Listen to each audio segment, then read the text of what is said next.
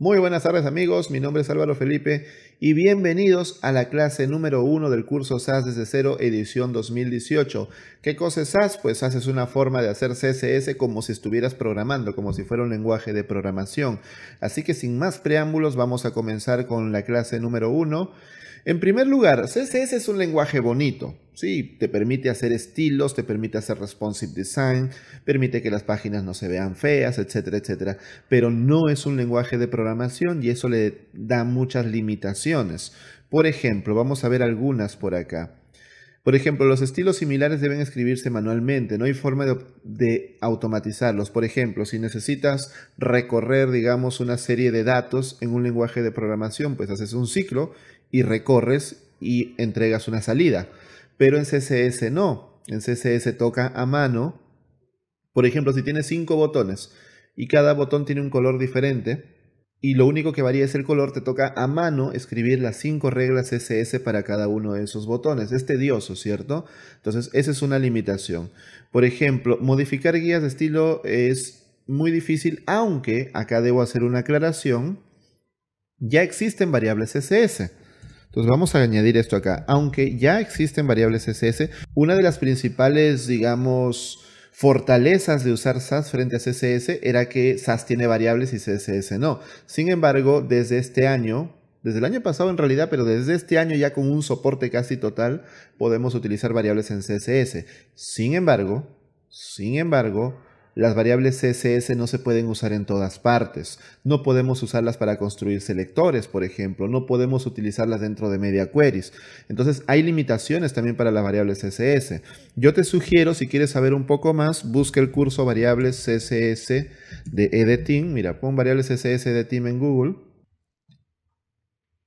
Ahí está, tenemos un curso completamente gratis de variables CSS, así que te recomiendo también mirarlo porque hay un capítulo de ese curso en el que hablamos de cuándo usar variables CSS y cuándo usar variables de SAS.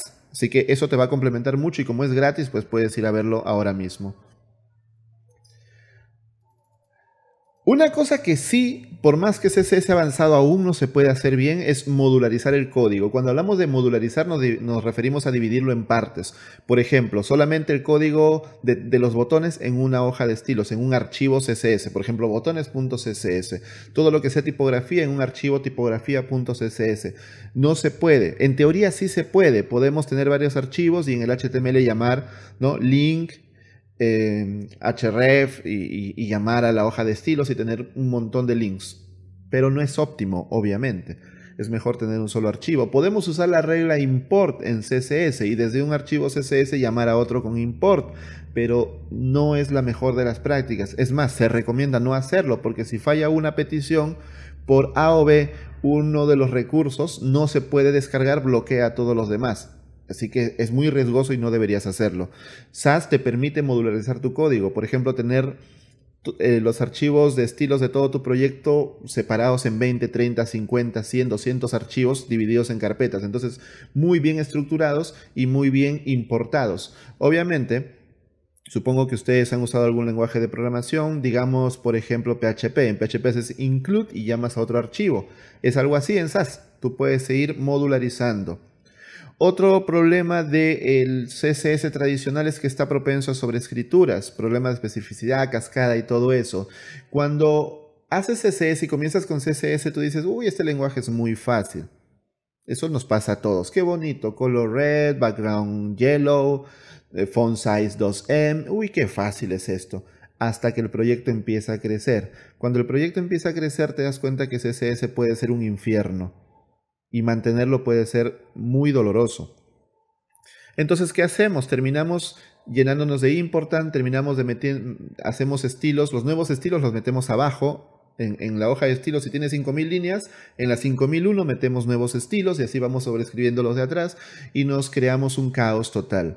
Entonces, como SAS nos permite modularizar el código, como SAS nos permite modularizar el código, ya podemos tener una estructura más organizada, una buena arquitectura que nos evite estos grandes problemas de CSS.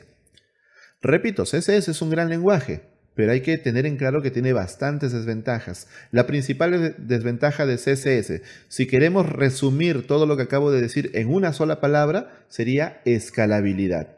escalar CSS es muy difícil, muy difícil y es un dolor de cabeza.